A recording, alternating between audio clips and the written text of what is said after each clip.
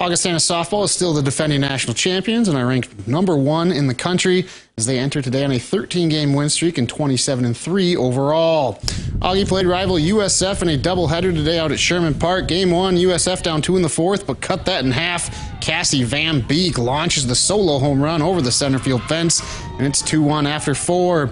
Top five, Abby Lean roping a liner down the third baseline, but USF outfielder Lexi Swift robbing her of an RBI with a great diving snag, keeping this a one-run ball game.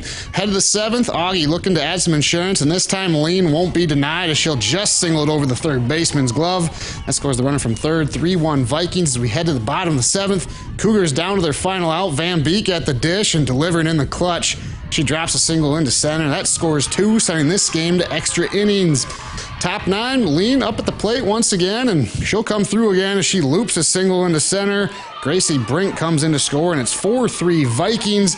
USF had two runners in scoring position and two outs in the bottom half, but Amber Elliott gets Van Beek out swinging as Augie takes game one 4 3 in nine innings. USF does bounce back with a 2 1 victory in game two, snapping the Vikings' 14 game win streak.